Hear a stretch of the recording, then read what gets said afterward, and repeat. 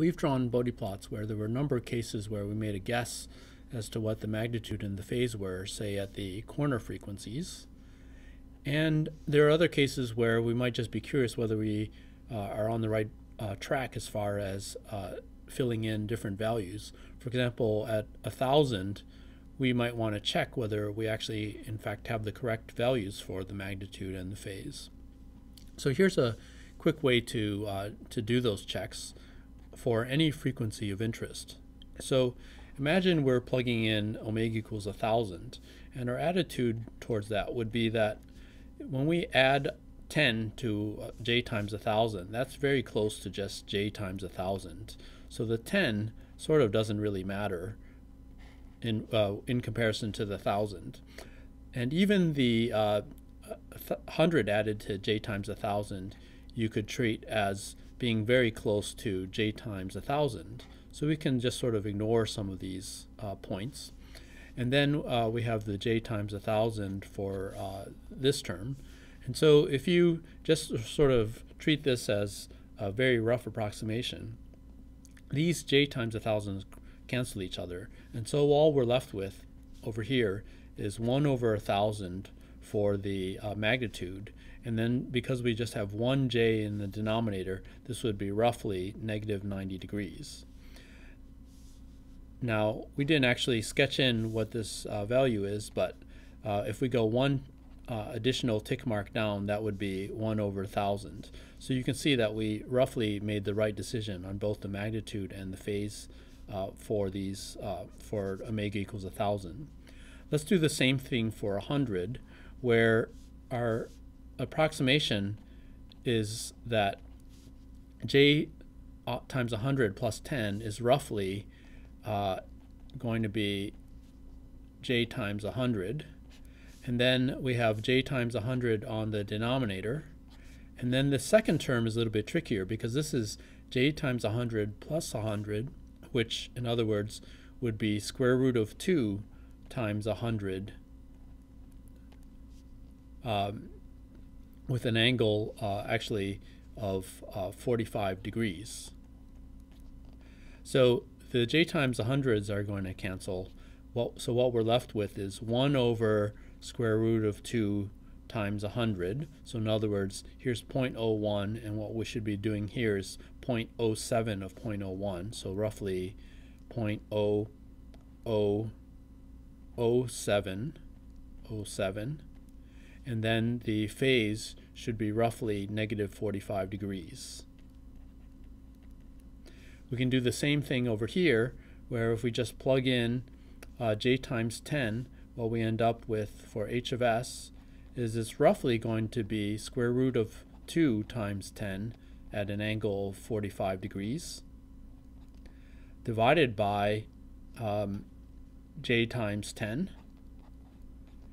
And here, the j times 10 is actually swamped by the 100, so we could say 100. So if you put this all together, the 10s cancel, we end up with square root of 2 divided by 100 uh, at an angle of 45 degrees minus 90 degrees. So we would have negative 45 degrees there. So again, we need roughly negative 45 degrees, which is what in fact we drew. And then over here, we want square root of 2 divided by 100. In other words, 0.0141. In other words, plus 3 dB from the 0.01 part.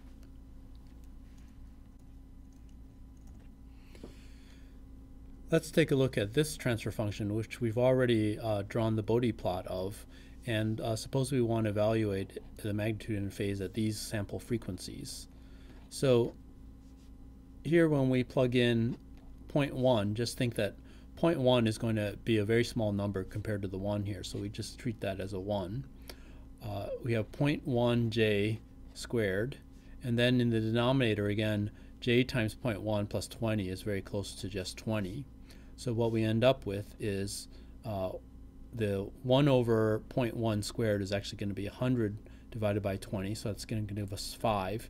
And then we have two j's in the denominator, and that's just going to give us an angle of negative 180 degrees. as for omega equals 1, here when we plug in 1 times j, that's going to cancel here, so we get 0.2 j divided by j times 1 squared. And then the j times 1 is much smaller than the 20, so we might as well just consider that to be 20. So what we end up with is 0.2 over 20, in other words, 0.01, uh, with an angle of uh, 1 uh, j in the numerator and 2 j's in the denominator, denominator, so that's going to give us negative 90 degrees. Let's move on to omega equals 20, where h of s is roughly going to be equal to, so here the uh, j times 20 squared is going to be much bigger than any of the other terms. So we have j times 20 squared divided by j times 20 squared divided by j times 20 plus 20. So these are going to cancel, and what we are left with is just 1 over the equivalent of square root of 2 times 20 at an angle of 45 degrees.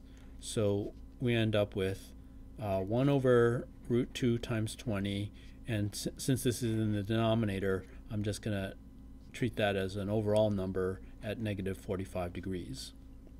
Finally, uh, let's just plug in a very large number of 1,000.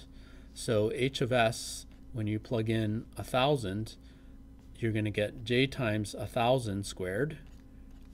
That's going to swamp out any other terms here.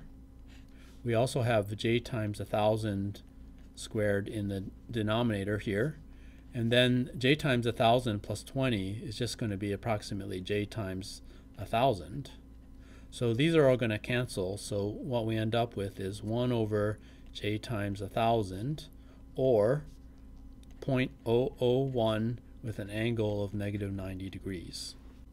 What can we do with this information? Well, we could apply a sinusoidal input, say a cosine of 0.1t plus 2 cosine of 1000t. And immediately from this information, we can make a, a rough guess. So I'm going to write an approximately equals here, where for cosine 0.1t, I know that I have a magnitude of 5 and a cosine of 0.1t minus 180 degrees.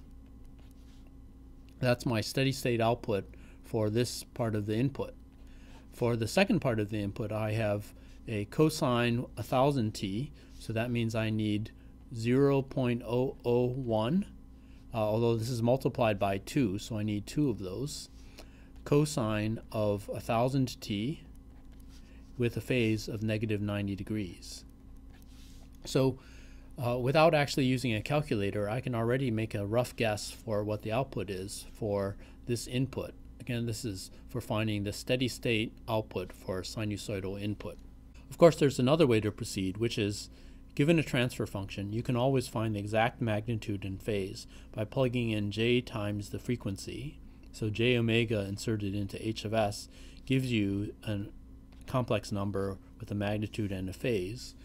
So if you apply a sinusoidal input, the steady state response is just going to be another sinusoid with the same frequency, omega, but a different magnitude and phase, which are given by the m and the phi over here.